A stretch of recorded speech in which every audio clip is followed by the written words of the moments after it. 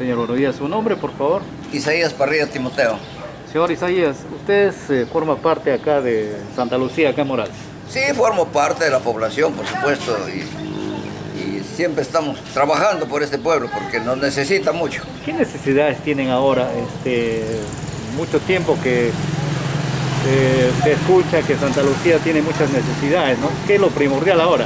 Lo primordial que tenemos es la gran necesidad del desagüe y también el agua, pues, porque el agua lo tenemos simplemente por partes. Santa Lucía en el agua no hay problema, pero sí a la margen derecha de todo, en la parte esta del río Cumbasa, hay necesidades inmensas, pero en especial Santa Lucía el desagüe, que es una necesidad prioritaria para la salud de, la, de las personas, porque si no hay un desagüe pueden haber contaminaciones y eso lo venimos ya solicitando de mucho tiempo, incluso hemos ido hasta el gobierno regional para que nos trate de ayudar a solucionar, porque nosotros tenemos un proyecto que ya viene con, el finadito Pilco, incluso lo, comenzamos, estamos siguiéndolo con este nuevo señor alcalde y parece que vamos yendo, digamos, Lentos pero seguros, me parece. Ojalá que eso es lo que esperamos, la población y toda la margen derecha de Río Cumbasa. A pesar de eso, señor Isaac, ustedes no estarían, señor Isaías, no estarían conformes con la directiva o quien se hace llamar este,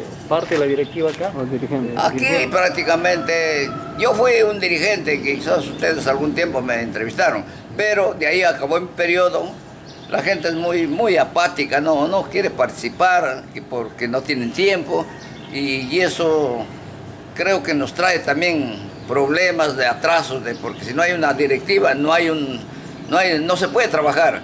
Entonces acá tenemos, tenemos del HAS, que es el señor Rubén, Rubén Darío, pero sabe, a veces por, digamos, este problema del, del virus, también se ha quedado un poco silencio y ojalá, pues como ya también terminó su periodo, esperamos que la nueva junta directiva pues, ponga un poco más de empeño para salir adelante en este, este, este, sector. Como usted ve, estamos mal, no tenemos ni siquiera una, una calle arreglada, aquí está todo un, abandonado prácticamente se puede decir. ¿Cómo está el tema de, de, de cunetas?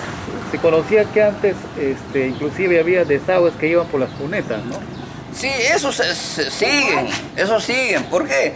La razón es porque no tenemos el desagüe, pues. Entonces, ¿a dónde vamos a, a discurrir más que todas las aguas este, hervidas, hervidas de ducha, de, de, de, los platos que se lava?